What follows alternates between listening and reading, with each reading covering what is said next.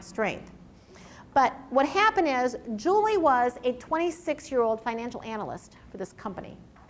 And the CEO said to me, you know, I would take her with me when I go and have lunch with the president of National City, when I meet with the president of whatever, I would take her with me.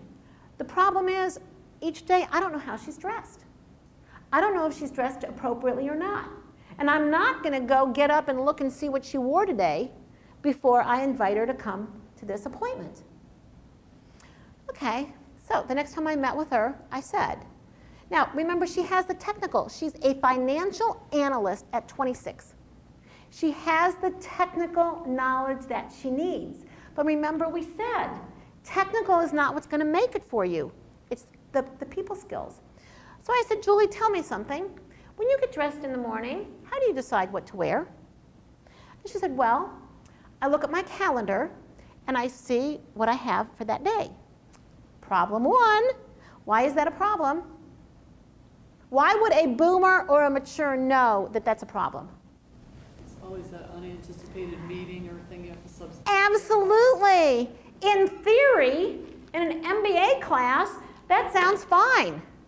But when, once you've been in the workplace, you know that things are going to happen throughout the day that you did not plan on. So number one, that was her first problem, okay?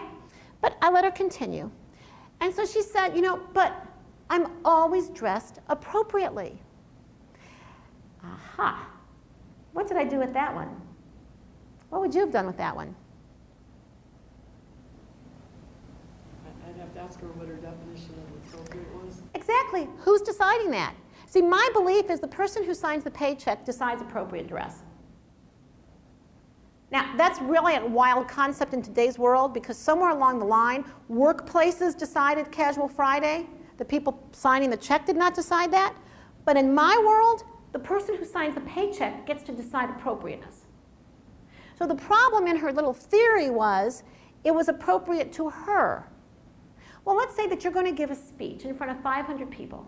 And I say, well, you know, part of what I do as a communication expert is I